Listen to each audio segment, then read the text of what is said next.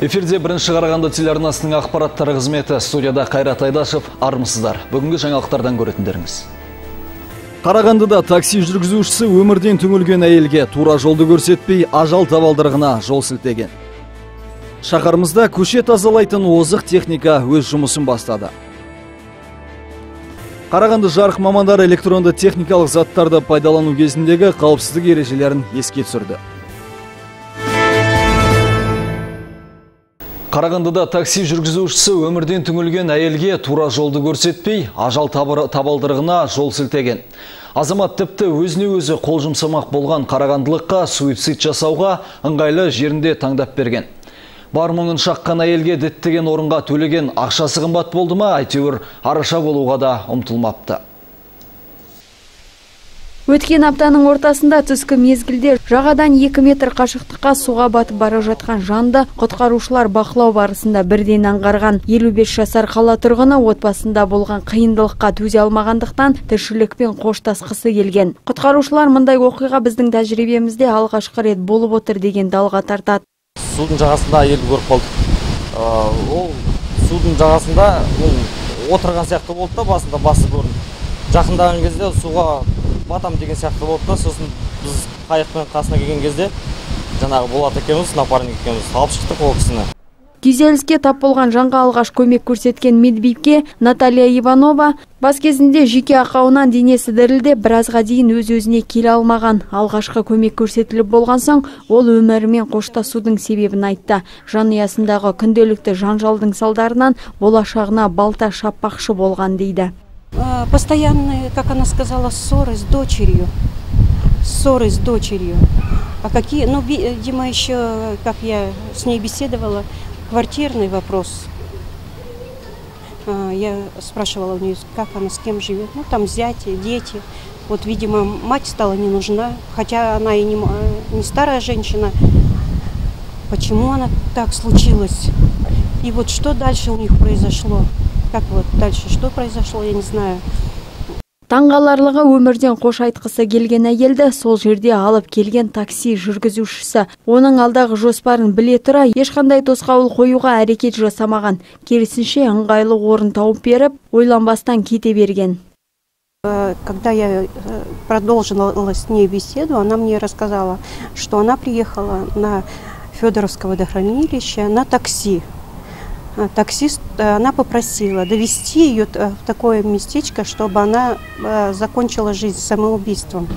Он ответил спокойно ей, что он знает такое место, где вам никто не помешает это сделать. рамазан айына он күн қалғанда белгісіз жанның аталмыш қылығы ойға жанаспайтын дүние. Десек те күніне үш төрт рет суды бақылап отыратын қызметкерлер өлімнен алып қалған жанды жедел жәрдем қызметкерлерінің қолдарына тапсырған. Айман сағатай қайрат рашитов гаухар абдрахманова бірінші қарағанды телеарнасы. Шақарымызда көше тазалайтын озық техника өз жұмысын бастады. Республика көлемінде заманауи технологиямен жабдықталған көлікті Джонсон фирмасы шығарған көрінеді. Елімізде дәл осындай көшелерді күл қоқыстан тазартатын көлікпен Астана қаласы ғана қамтамасыз етілген екен.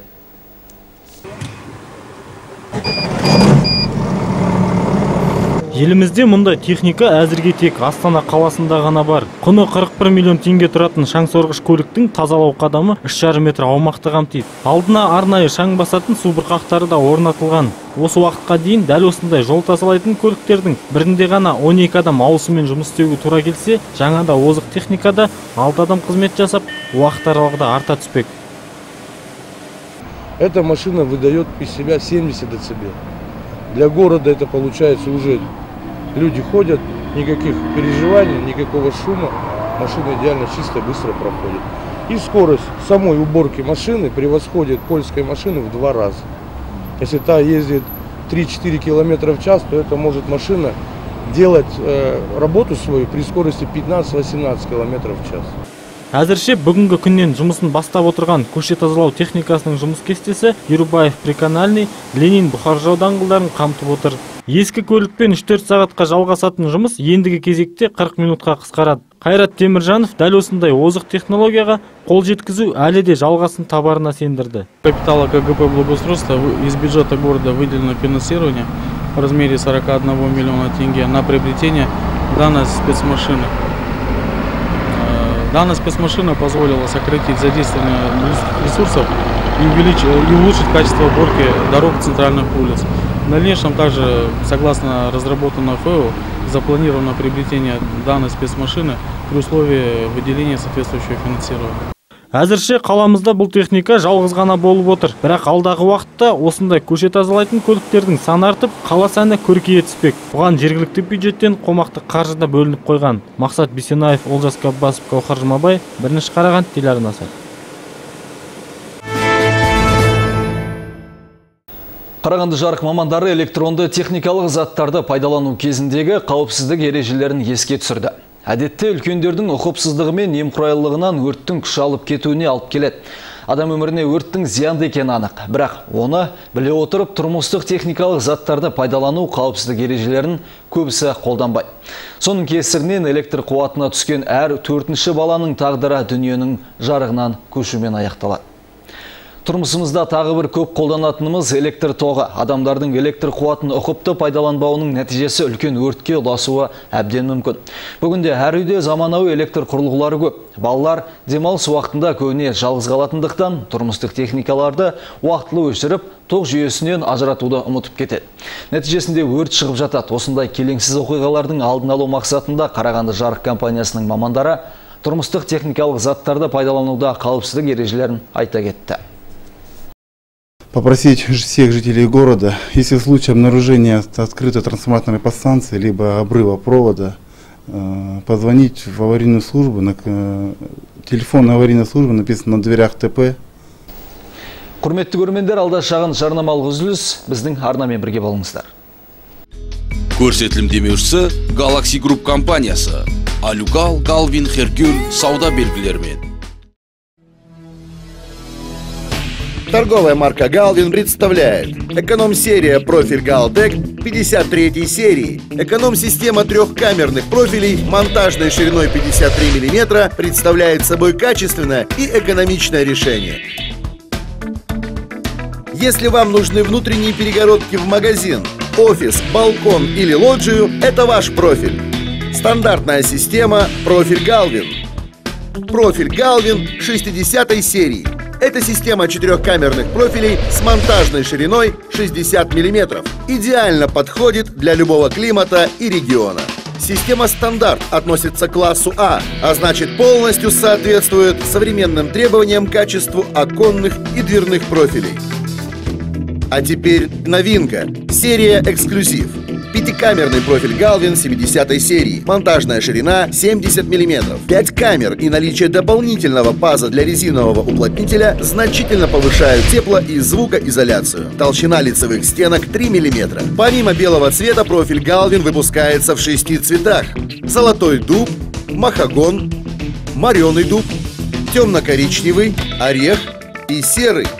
Но и это еще не все. Имеются профили односторонние, внутренней и наружной ламинации всей цветовой линейки.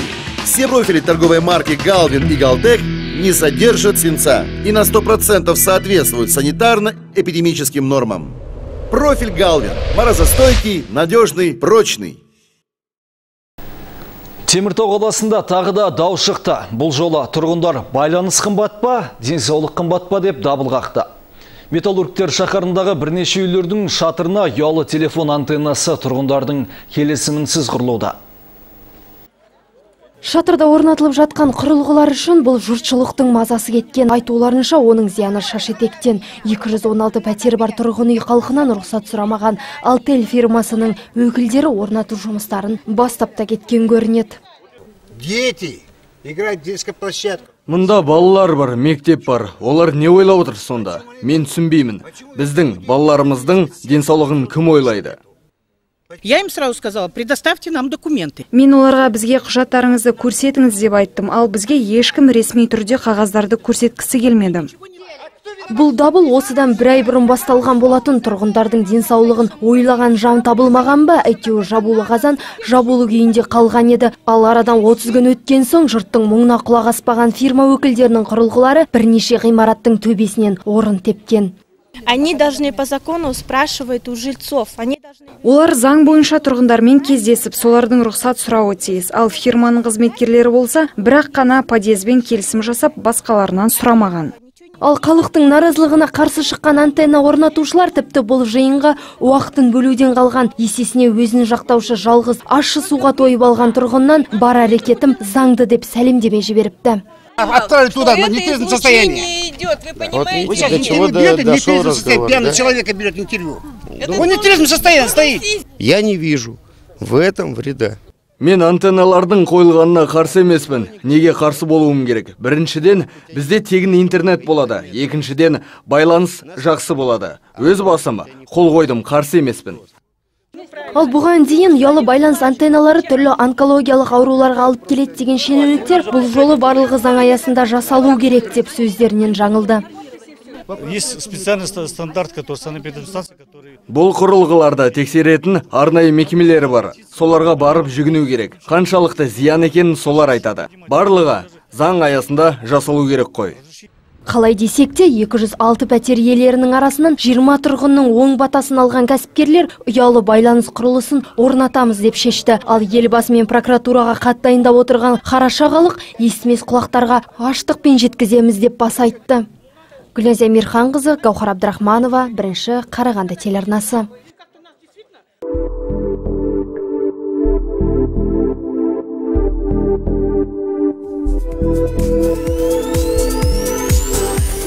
артек терезелері максималды жайлылық пен ұқыптылықтың керемет үйлесімі мінсіз неміс сапасы қолжетімді бағамен артек терезелері. Ұзақ жылдарға сіздің тыныштығыңыз. Артек терезелері өмір үшін жасалған терезелер.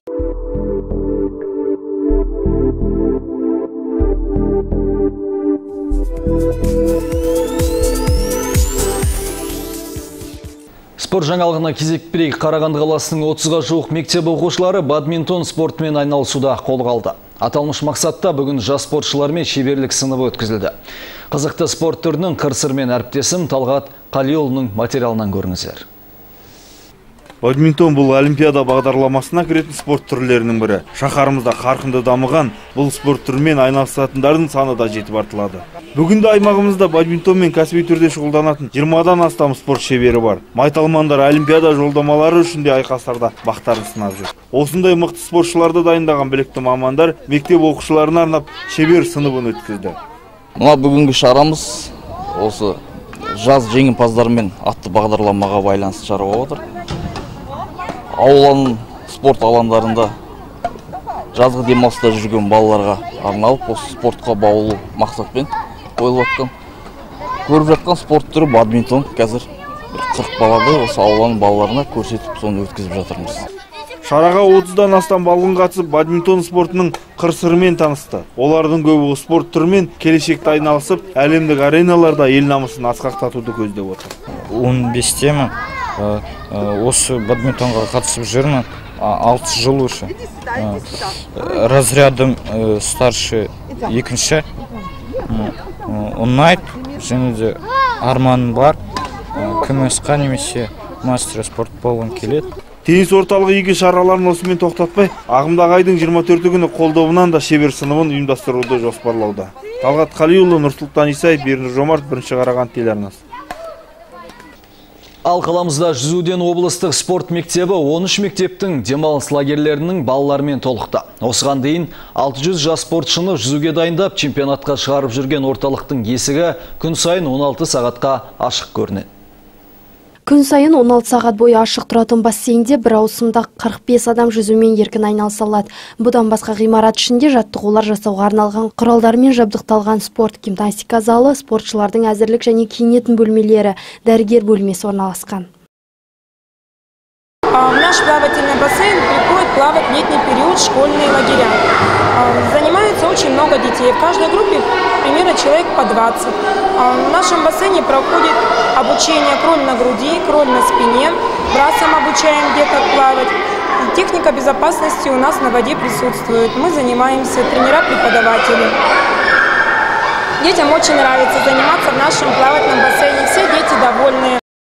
660 баланы спорттық жүзу синхронды жүзу және су добы бойынша өнерге дайындайтын бассейннің әрқайсысы 80 метрге созылған үш жүзу жолынан тұрады. Су 2,5 метр тереңдікке толтырылған. Бұл жердегі заман талабына сай жағдай әр балаға жеңімпаз болуына мүмкіндік береді. Ал биыл лагерь балалармен толыққан бассейнде қаламыздың 13 мектебінің оқушылары үш маусыммен баратын көрінеді. Мүгедектер және әлеуметтік жағдай төмен отбасы балаларына тегін екен.